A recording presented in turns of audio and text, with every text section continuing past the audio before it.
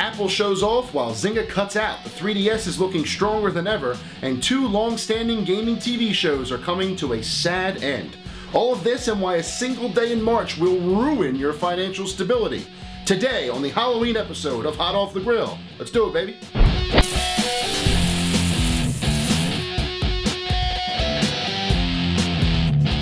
Welcome to the October 27th edition of GamerNode.com's Hot Off the Grill. Senior editor Jason Fanelli here, and after a 24-hour gaming marathon and about 80 hours of sleep, I am ready. Let's do it. Apple debuted a brand new line of iPads known as the iPad Mini, and while it seems like a big deal, it's really not.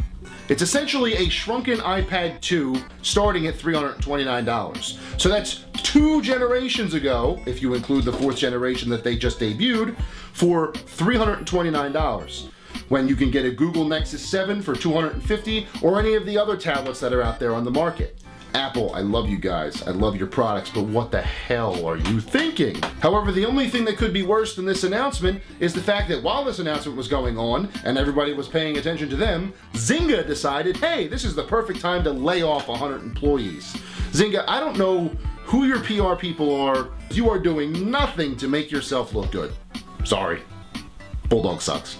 In a new Nintendo Direct, Nintendo laid out the 3DS lineup coming up in the next half a year, and I gotta tell you, the 3DS is looking better than ever in the shadow of the Wii U.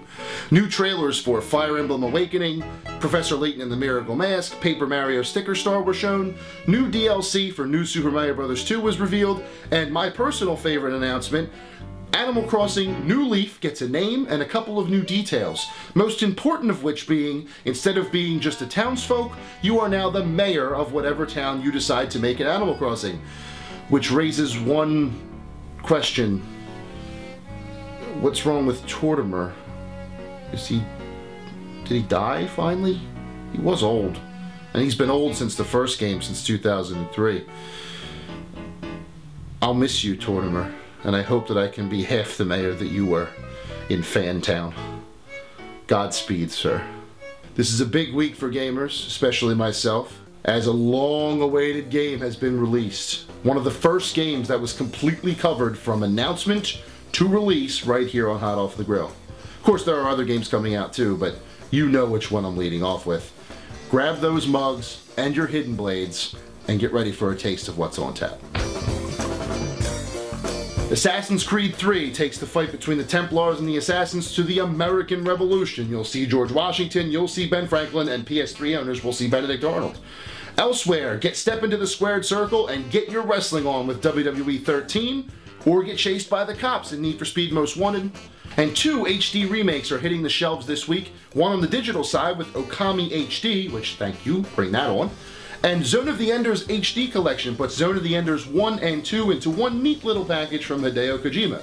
Hopefully this means Zone of the Enders 3, or a new Zone of the Enders at all, but we'll see. Now while Assassins does lead the charge, that is a pretty big lineup of games. So what's filling your mug this week? G4 has announced that they are canceling two of their premier shows, Attack of the Show and X-Play.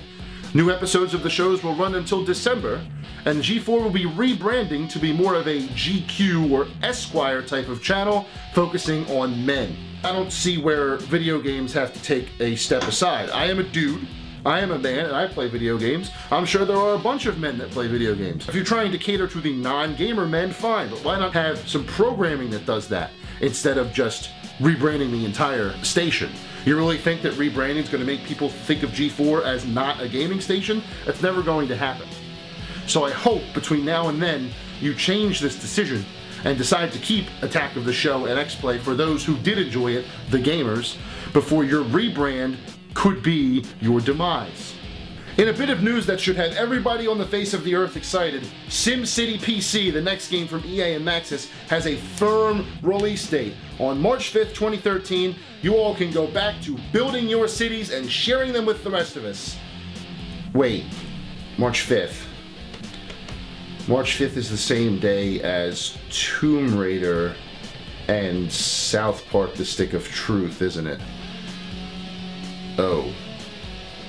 Well, guess I'll be dipping into the old wedding fund for that, won't I? Because I certainly won't have the funds. And I can't make that decision. between those three games. It has to be all three, right? I mean, they're all solid games. All of them have are definitely impressed so far. But SimCity is so good. What do I do? What, what, what do we do? Developers, stop doing this. Stop doing this to us. I don't like taking my wallet and throwing it out the window. I don't want to do that. Don't make me choose. Man. March 5th, 2013. Just set your wallet on fire. Now, if we're going to talk about the new SimCity, we better talk about the game that I'm going to play as soon as filming is over, SimCity 3000. Now, there may you may have been SimCity fans before, but SimCity 3000 is what really hooked me in as far as a fan is concerned. So let's go back in time with SimCity 3000 in this week's Revisited. SimCity 3000. Oh, how I adore thee. It took everything that SimCity 2000 did well and added a bit of a futuristic edge. Of course, I was the guy who always built a city and then destroyed it every which way I could. Fire, Godzilla, whatever the game allowed me to do. Hopefully the new game will let me do that too. But regardless, no matter how you played SimCity, there were hours and hours and hours of fun to be had with SimCity 3000. Anyone who owns the game can tell you the same thing.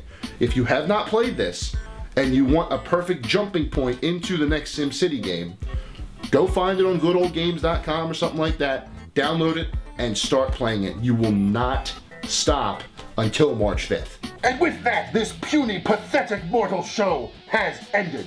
Tune in next week for more of the biggest gaming news, so long as Hurricane Sandy doesn't blow us all off the map. Until next time, thank you again for watching, and stay hungry, my friends.